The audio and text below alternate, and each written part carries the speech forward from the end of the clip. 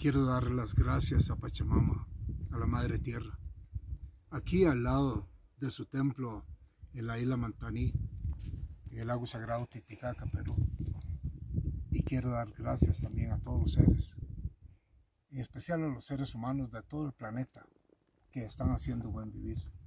Y en particular a las mujeres y a los hombres que en Costa Rica defienden la vida, defienden la tierra, defienden la naturaleza. Todos, en todos los cantones del país, en los 84 cantones, que sigan adelante, que sigamos haciendo vida, estando a favor de la vida, a favor de la Madre Tierra. Un abrazo para cada ser y cada humano y humana que se suma a esta causa del buen vivir.